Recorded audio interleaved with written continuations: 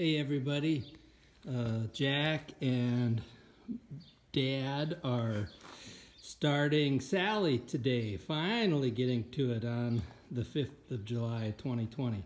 So Sally um, is a 59 Galaxie two-door two -door post with a 332 V8 in it and uh, I bought this in uh, Las Vegas, Nevada in 1999, summer of 99, I think. Um, and uh, so I've had it about 20 years, a little bit more maybe. And uh, it was uh, pretty much restored before uh, our wedding in 2003. So, but it was rust, it's always been a rust-free car. Here we are, cold start of the 332 Thunderbird Special.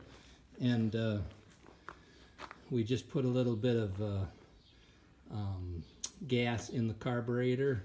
You can see the engine was rebuilt probably sometime in the 90s by Loveland Auto Machine Shop in uh, Loveland, Colorado. So this engine came from a different Galaxie that I had bought out of a salvage yard. And uh, I found in the glove box the receipts from a complete engine overhaul at Loveland uh, Machine Shop.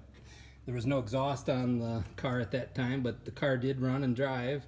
Um, so I kind of found uh, a diamond in the rough with the rebuilt engine there. Um, and I think it's got very, very low mileage on it. Okay, so my assistant here is going to take over with the videotaping and um, focus. Uh, here's the interior, not uh, exactly a period correct interior, but, but not bad. Door panels are close to correct.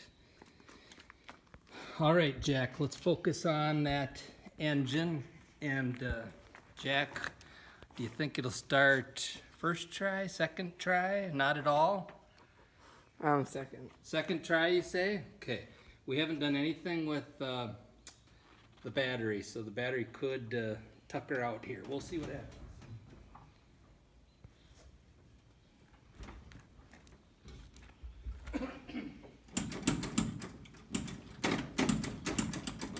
A few times.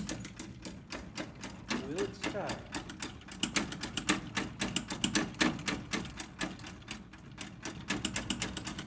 Okay, here we go.